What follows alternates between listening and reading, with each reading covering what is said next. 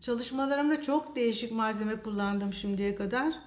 Nedense böyle atılan, çöpe atılan eşyalara bir çekim hissediyorum. Onun için bir kere atıkları kullanıyorum. Sokakta bulduğum bir ağacın kökü mesela atölyeme taşınıyor.